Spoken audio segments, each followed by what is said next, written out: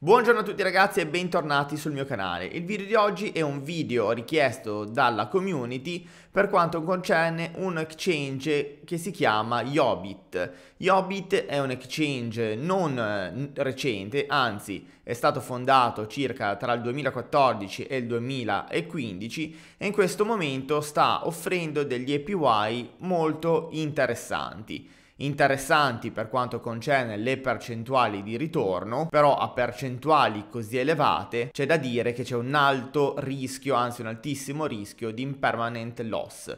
Andiamo a vedere che cos'è questo exchange, come funziona e cosa ne penso dopo la sigla.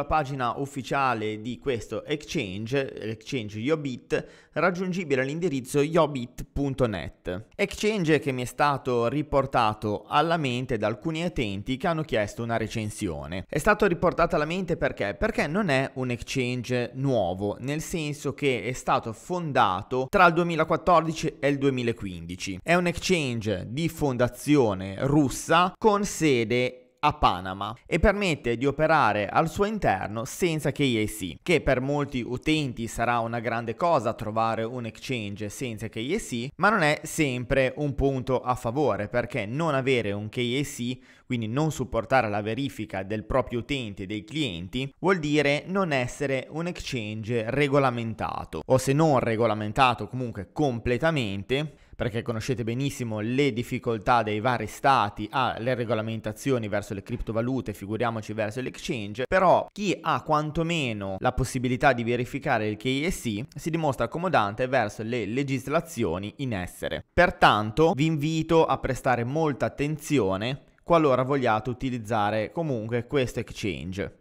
per i fattori che vi ho appena nominato, ovvero sede legale a Panama e no KAC. Dal 2014 ad oggi non è stato mai menzionato né dall'exchange e neanche dalle riviste del settore nessuna manomissione, nessun attacco hacker. E come la maggior parte degli exchange, i fondi all'interno dei portafogli sono custoditi in cold wallet disconnessi dalla rete. Una funzione che non ha quasi nessun altro exchange è la possibilità da parte degli utenti di andare a bloccare i prelievi in autonomia. Qualora sospettassi di manomissioni, qualora sospettassi di movimenti nel proprio account non autorizzati, l'utente può congelare i propri prelievi. Per quanto riguarda le commissioni, gli utenti sono soggetti a commissioni sui trade e sui prelievi. Per quanto riguarda lo spread si aggira intorno allo 0,20%, per altri tipi di prelievi si aggira dall'1 al 5%. Per quanto riguarda le valute fiat,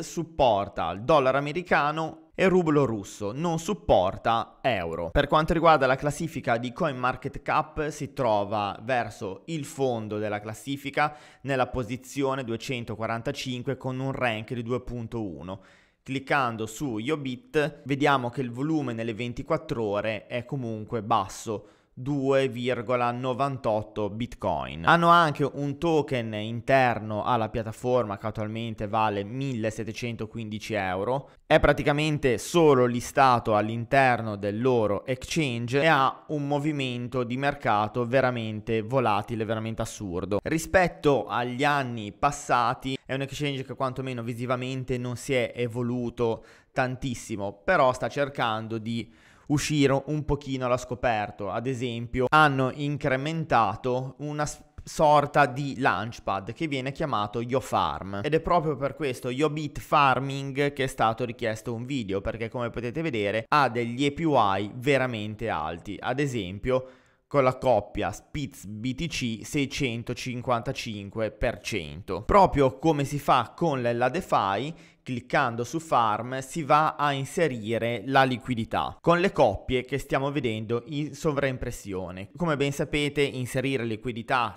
nella DeFi siamo a rischio in permanent loss e siamo soggetti ancora di più a questo rischio se utilizziamo delle criptovalute lock up accoppiate a Bitcoin. Quindi se volete utilizzare questo farming state veramente attenti all'impermanent loss o comunque sappiate che questo rischio è molto alto. Inserendo ad esempio la coppia Robo BTC al 281% di PY si va a ottenere il token YoFarm che sarà listato a breve all'interno di questo exchange. Faccio vedere brevemente come si potrebbe andare a fornire liquidità sulla coppia Spritz BTC cliccando su Farm. Supponiamo di avere a disposizione un bitcoin all'interno del nostro portafoglio, andiamo a swapparne lo 0,5, quindi la metà, si clicca su swap e quindi avremo 0,5 bitcoin disponibili e questo quantitativo di spritz. Una volta fatto lo swap si va ad aggiungere liquidità, in automatico l'exchange va a calcolare i rispettivi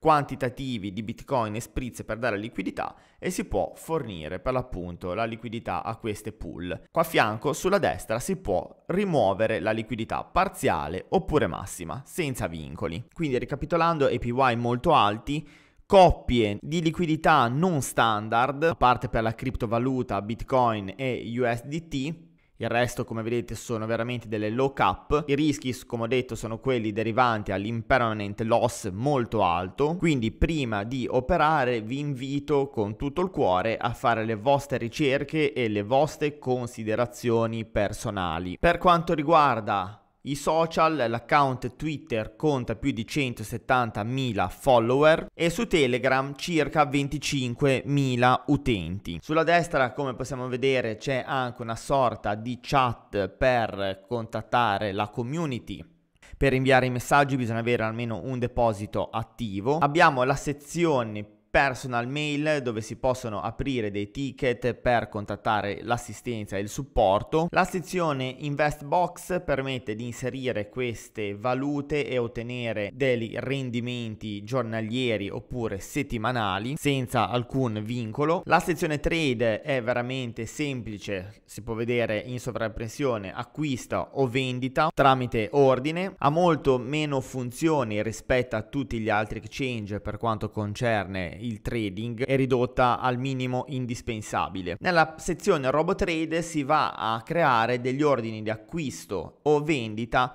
automatici che verranno inseriti secondo i parametri che andiamo a scegliere. Bene, siamo arrivati anche per oggi alla fine del nostro consueto appuntamento e spero che il video vi sia piaciuto, soprattutto sia piaciuto ai ragazzi che hanno richiesto il video in questione. Vi invito a prestare molta attenzione quando andate a fornire liquidità con delle coppie particolari, ricordatevi sempre dell'impermanent loss e soprattutto se andate a utilizzare dei servizi o exchange con liquidità non elevatissime bellissime. Quindi fate sempre le vostre ricerche, mi raccomando, l'ultima parola spetta a voi e non di sicuro a me. Per il resto vi ringrazio per l'attenzione e vi invito ad iscrivervi al canale per supportare il mio lavoro ed unirvi anche alle nostre community, sia Telegram che Discord. Ciao a tutti, alla prossima!